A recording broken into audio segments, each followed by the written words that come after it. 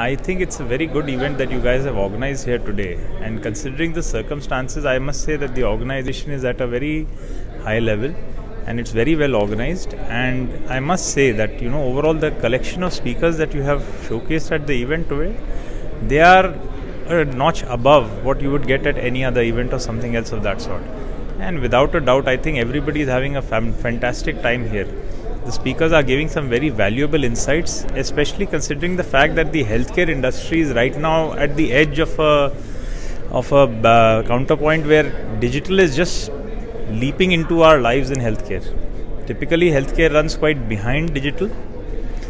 We have had a lot more innovation that a pizza or a Swiggy can deliver food to your house faster than, than an ambulance can come to your house. And slowly that culture is coming in even inside healthcare. And this summit is showcasing some of the innovative measures that people are taking in order to do that. So I would say it's a good job. It's a great show.